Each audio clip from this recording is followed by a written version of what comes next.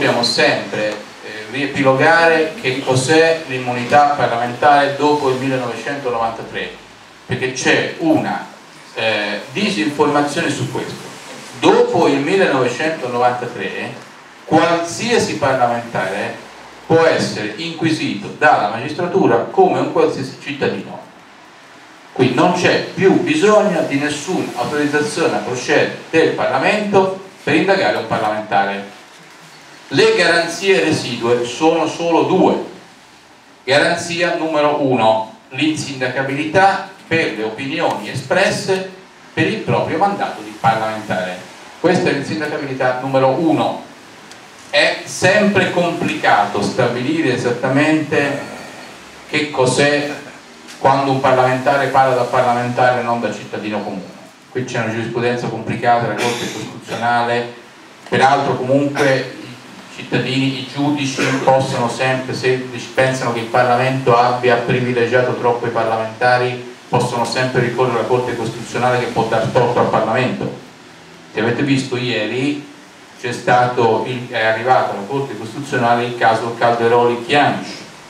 che Calderoli aveva insultato la Chianci. Il Senato ha votato che Calderoli lo ha fatto da parlamentare nell'esercizio delle funzioni, la Corte Costituzionale ha intanto dichiarato ammissibile il ricorso del giudice perché perlomeno in prima istanza il ricorso sembra fondato. Quindi attenzione, che qui in ultima analisi però decide la Corte Costituzionale, non decide il Parlamento stesso, eh? quindi è un sistema fortemente garantito l'altro è l'autorizzazione agli arresti l'autorizzazione agli arresti che senso ha?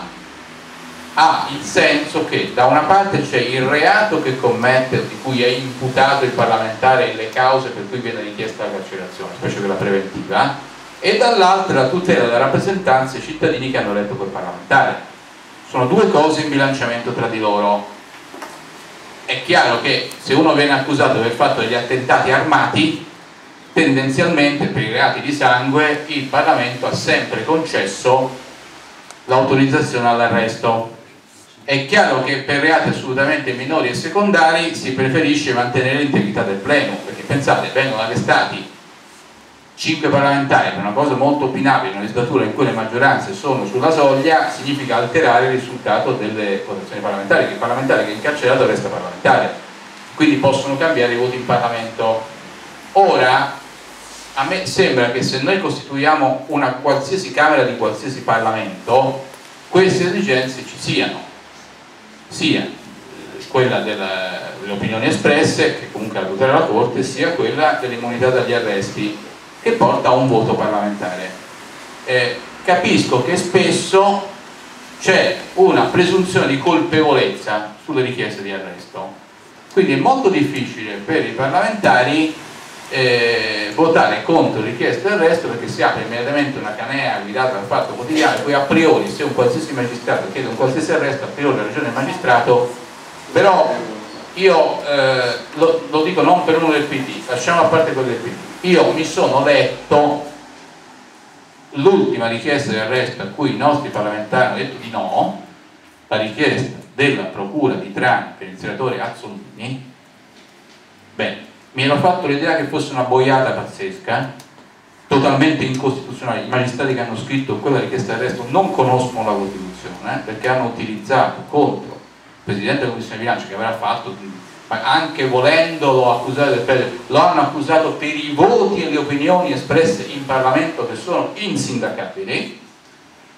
un mese dopo la Cassazione ha fatto a pezzi la richiesta di arresto dicendo la cosa che ho detto io quando l'ho letta e che hanno detto i nostri parlamentari. Per, alcuni, per un mese i nostri parlamentari sono stati accusati di aver fatto uno scambio segreto con Azzolini perché faceva parte della maggioranza di governo, sapevano che doveva andare in galera, hanno salvato apposta per qualche strano me un mese dopo la Cassazione ha detto guardate che queste richieste di arresto non stanno in cielo in terra, per cui prima di dire che a priori hanno sempre ragione i magistrati